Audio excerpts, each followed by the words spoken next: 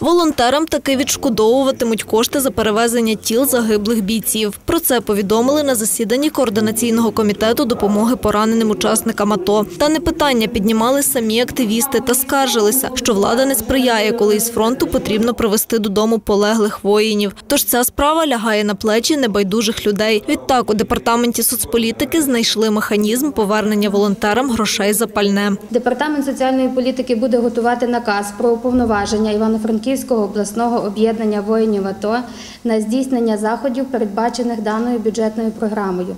Громадська організація після цього повинна заключити угоду на придбання пального на підставі накладної, зареєструвати юридичні та фінансові зобов'язання і подавати заявку в департамент соціальної політики.